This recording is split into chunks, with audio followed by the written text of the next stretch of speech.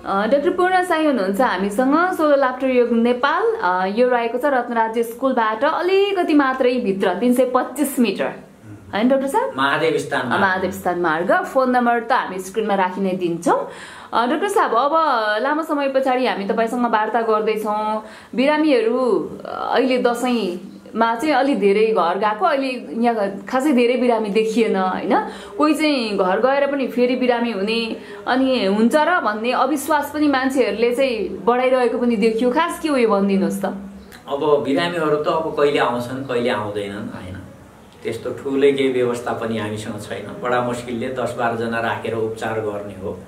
आफूसँग लगानी पनि छैन। बिरामीहरूले चाहिँ खर्च खर्च दियो भनेपछि भाडासाडा तिर्ने खाने यताउता चाहिँ चल्छ।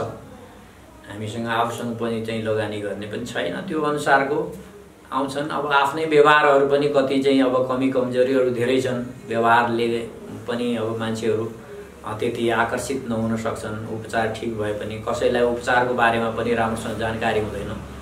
अब कोही भ्रममा पनि पर्छन् होइन?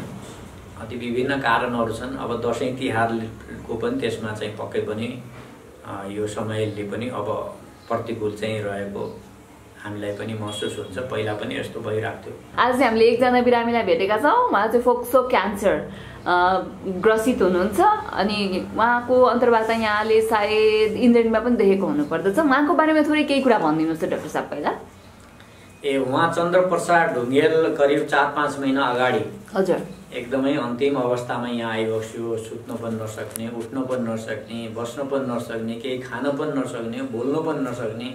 पल्टिनै नसक्ने यस्तो भयो कि त सासै बन्द भइहाल्ने। यस्तै बसिराख्नु पर्ने अब एकदमै चाहिँ दुखेर जहाँ छातीमा एकदम पोलेर छटपट्टि राख्नुपर्ने त्यस्तो अवस्थामा आइबसेको हो होइन। अब बिस बाइस दिन करिब एकै महिना यहाँ बस्यो होला सबै मिलाउँदाखेरि कुल होइन। बसेर चाहिँ उपचार गर्दाखेरि धेरै राम्रो भएको थियो एक डेढ किलोमिटर हिँड्न सक्ने पनि भएका थिए होइन। त्यस पछाडि घरबाट मोटरसाइकल स्कुटी ल्याएर आउन जान सक्ने पनि भएका थिए तर चाहिँ उहाँलाई स्वस्थ चाहिँ राम्रोसँग बनाउन सकिएन। किन? सबैलाई बनाउन कहाँ सकिन्छ? अब हामीले बनाउन सक्ने हामीसँग त केही छैन। तर जुन किसिमको उहाँले अभ्यास गर्ने हो जे कुरा सिकाउने हो स्वास्थ्यको नियम पालन गराएर पूर्ण रूपबाट स्वस्थ प्राप्त गर्न उहाँलाई धेरै नै कठिनाइ भयो। अनि जुन अवस्थामा पहिले आएका थिए करिब करिब अहिले चाहिँ फेरि त्यही अवस्था छ। कि केही राम्रो छ पहिला आएको बेला अलि धेरै राम्रो छ। ए आएको बेलाभन्दा त धेरै राम्रो छ तर जुन किसिमले प्रगति भएको थियो त्यो बिग्रियो कि? दुःखद कुरा। स्कुटी ल्याएर घरबाट आउने जाने भइसकेको होइन? अनि एक डेढ किलोमिटर हिँड्न सक्ने भइसकेको। उहाँले आफै बिगार्नु भयो त्यो अवस्था कि तपाईँहरूको नियम पालना नगरेर कि कस्तो? सबै वातावरण चाहिँ ले साथ दिएन। त्यसमा वातावरण चाहिँ अब धेरै कुराहरू हुन्छन्। हाम्रो उपचारसँग मात्रै सम्बन्ध रहँदैन। आफ्नो पारिवारिक चाहिँ माहौल कस्तो छ होइन? अनि त्यस पछाडि आर्थिक कुराहरू छन् आफ्ना कारोबारका कुराहरू छन् लेनदेनका कुराहरू छन्। हामीसँग नभए पनि अरू। थुप्रै कुराहरूले त्यहाँ त भूमिका खेल्छ नि। अब स्वास्थ्य भनेको त सम्पूर्ण चिजको त एउटा निचोड आउने हो नि त त्यो त। हाम्रो सम्पूर्ण व्यवहार मानसिक अवस्था कस्तो छ होइन? अब चाहिँ वरिपरिको वातावरण व्यवहार हरेक कुराहरूले फरक पार्ने हो नि। त जुन किसिमले चाहिँ यहाँ एक डेढ किलोमिटर हिँड्ने भइसकेको थियो त्यो हिसाबले त अब अहिले चाहिँ आठ दस किलोमिटर सजिलै हिँड्न सक्ने प्रायः त अब चाहिँ राम्रो हुँदै गएका एक डेढ महिनामा आठ दस किलोमिटर हिँड्न सक्ने हुन्छन्। जो राम्रै भएन त्यो बेग्लै कुरा हो राम्रो भएकाहरू त्यस्तै हुन्छन् यहाँ चाहिँ। तर उहाँलाई चाहिँ यत्रो लामो समयसम्म त उपचार यहाँ कसैले गरेकै पनि छैन होइन उहाँ जस्तै अवस्थाका अरू पनि चाहिँ थुप्रो आएकाहरू क्यान्सरकै नाउँमा उपचार गरेर अब चाहिँ एक दिन पनि बाँच्दैनस् भनेकाहरू पनि एक डेढ महिनामा चाहिँ कम्तीमा दस द कम्तीमा भनौँ बढी भनौँ अब दस किलोमिटरभन्दा बढी किन हिँड्ने हो र अभ्यास गर्दाखेरि दस किलोमिटरसम्म सजिलै हिँड्ने भएर गएका छन्। तर उहाँको प्रगति भएर पनि त्यस पछाडि चाहिँ अगाडि बढ्न सकेन। र चाहिँ अब सजिलो त अब त्यो अवस्था यहाँ आएको अवस्थाभन्दा त अब राम्रो छ अझै पनि होइन यसरी बस्न सक्ने अवस्था पनि थिएन त्यस बेला। तर चाहिँ राम्रो हुनुपर्ने त्यो चाहिँ हुन सकेन।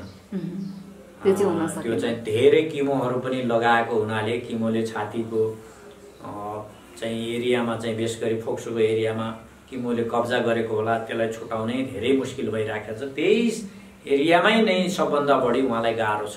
नत्र त अरू त सजिलो थियो उहाँलाई धेरै सजिलो थियो। उहाँसँगै कुराकानी गरौँ त्यसो भए है? हजुर नमस्कार दाई। नमस्कार नमस्कार। हजुर चाहिँ फोक्सो क्यान्सर।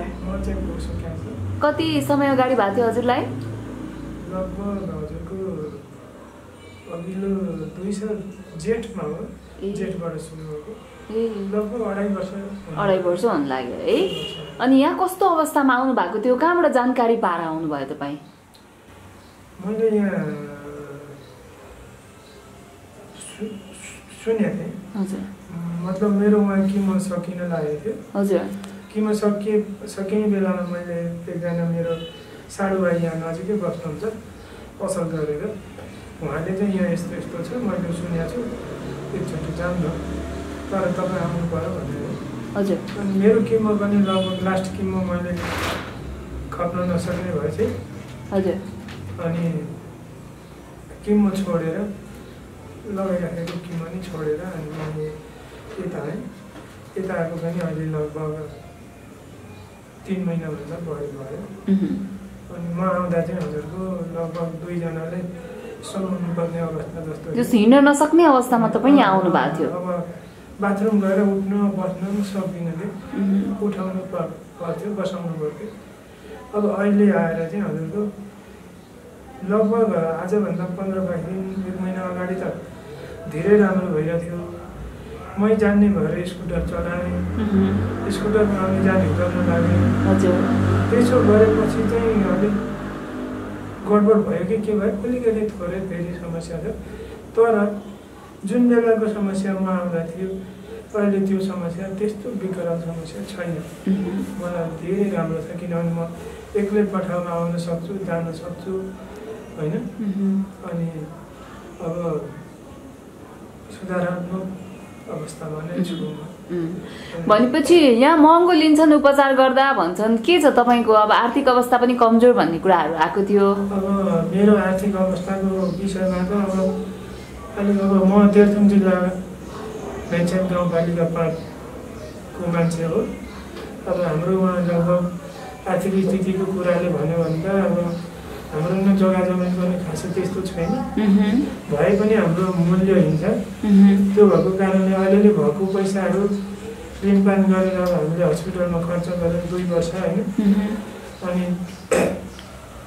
खर्च त आफूसँग हुने कुरै भएन।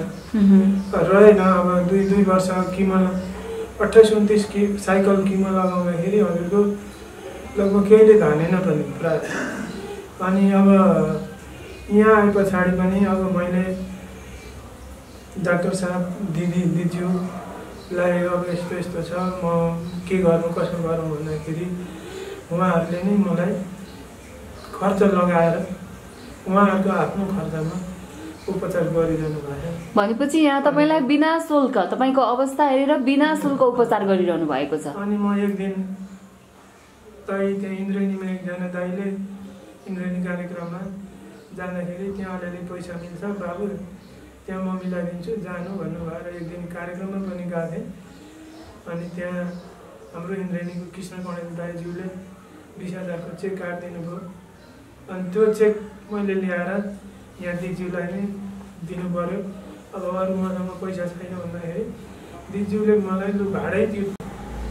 छोराको किस्ती तेरो उपचार खर्च हामी यहाँबाटै गर्छौँ भनेर मलाई खर्च दिएर यहाँबाट खर्च दिएर पनि ल्याउने लाने खुवाउने पियाउने सबै गरेर उपचार दिजु भनेको मनता राई म्याम मनता राई। ए हजुर।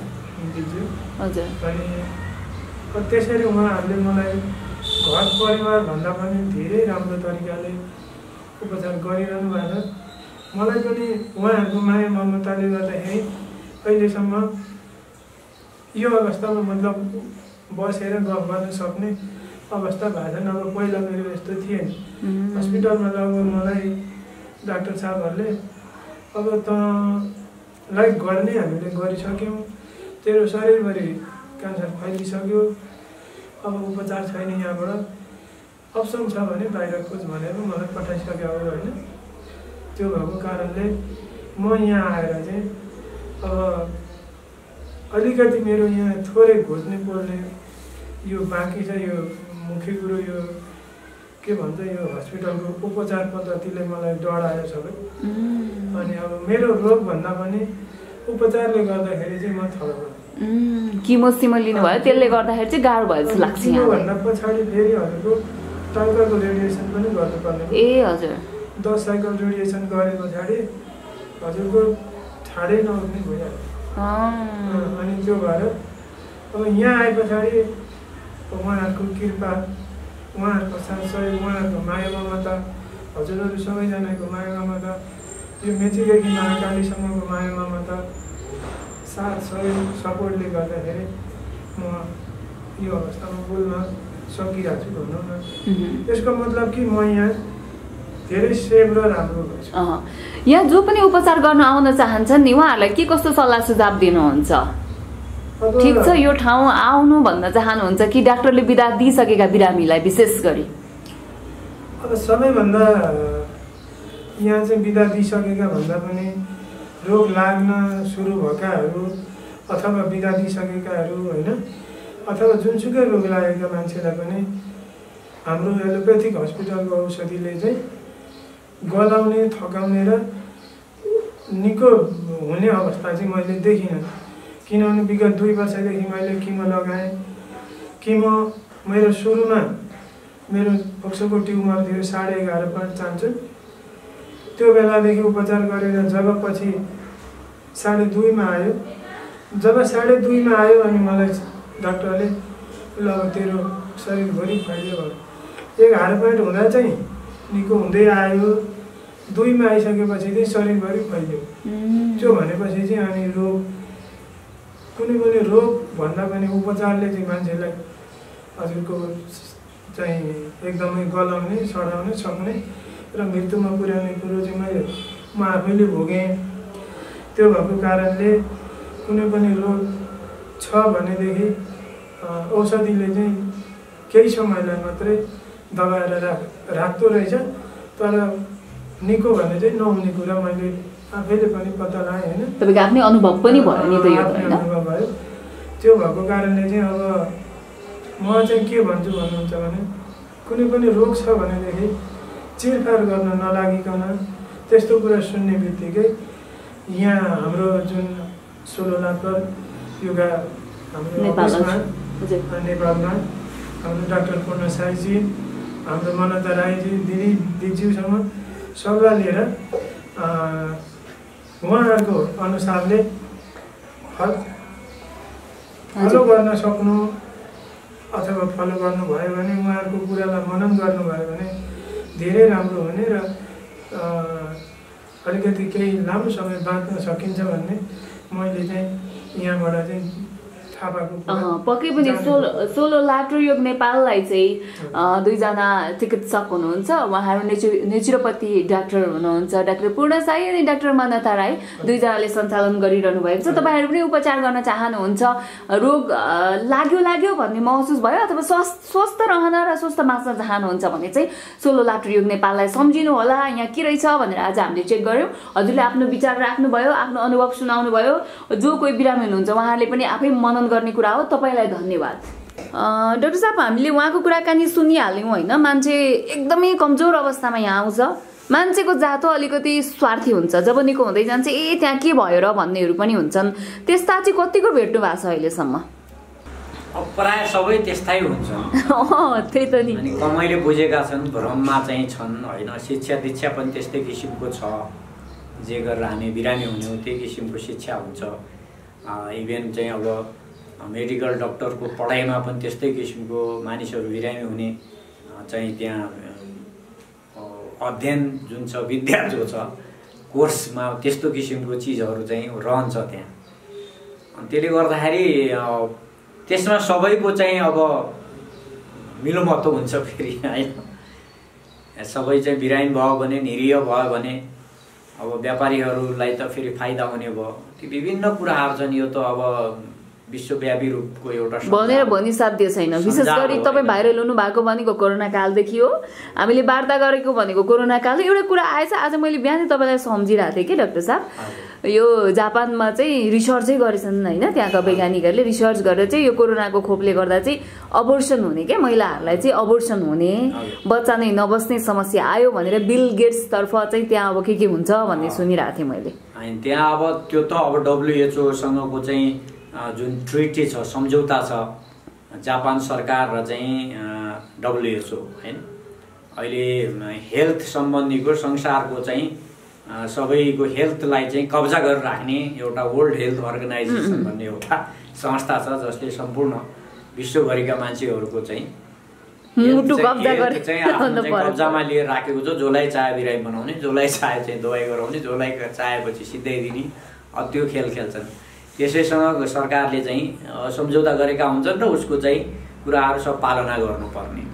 अनि जापान चाहिँ ठुलो आन्दोलन भइराखेको छ। यो वर्ल्ड हेल्थ अर्गनाइजेसनले नै संसारका सबैलाई चाहिँ बिरामी बनाउने जबरजस्ती चाहिँ बिरामी बनाएर चाहिँ दबाई खुवाउन लगाउने र चाहिँ धन सम्पत्ति लुट्ने हत्या पनि गर्ने खेल गर्छ भनेर यहाँ डब्लुएचओसँग तुरन्त सन्धि खारेज सम्झौता खारेज गर्नु पर्यो भने त्यहाँ आन्दोलन चलिरहेको छ। जापान मात्र नभएर विश्वव्यापी रूपमा चाहिँ त्यो चलिरहेको छ। अब जापानमा त त्यो कुराहरू त भइराखेका छ त्यहाँ। अब सिनेटमा पनि ती कुराहरू अगाडि बढिरहेका छन्। इभेन जापानको प्राइम मिनिस्टर जसलाई चाहिँ गोली हानेर यिनीहरूले चाहिँ मराए होइन। अब उनले कहिले पनि चाहिँ कोरोना आतङ्कवाद चलेको बेला लकडाउन पनि गरेन उनले। कहिले पनि त्यहाँ चाहिँ कसैलाई चाहिँ मास्क लगाउन पनि जबरजस्ती गरेनन्। कसैलाई चाहिँ क्वारेन्टाइन राख्ने काम पनि गरेनन्। उनले कसैका स्कुल कलेज रेस्टुरेन्ट केही पनि बन्द गराएनन्। जसलाई चाहिँ जे सजिलो लाग्छ त्यही गर भनेर भने होइन? र त्यहाँ लकडाउन गरेन भनेर यो डब्लुएचओ लगायत यी आतङ्कवादीहरू जुन सङ्गठनहरू छन् यिनीहरूले त्यहाँ चाहिँ आन्दोलन गर्न लगाए त्यो त्यहाँको जापानको प्राइम मिनिस्टरको चाहिँ विरुद्धमा। पब्लिकलाई त्यसरी उचाले होइन? तर पनि त्यो प्राइम मिनिस्टरले चाहिँ त्यहाँ लकडाउन चाहिँ गरेन। यो एउटा आतङ्कवादी क्रियाकलाप हो। यसले सबै हाम्रो देशको धन धन सबै चिज ध्वस्त गर्छ भनेर उनलाई थाहा थियो र गरेनन्। र त्यस पछाडि यिनीहरूले फेरि के गरे त भन्दा उसलाई चाहिँ विभिन्न चाहिँ जालझेल गरेर त्यहाँ राजीनामा दिन लगाए। प्रधानमन्त्रीबाट राजीनामा दिन लगाए। त्यस पछाडि त्यसको तिन चार महिनामा एउटा चाहिँ गुन्डाबाट चाहिँ गोली हानेर मराइदिए।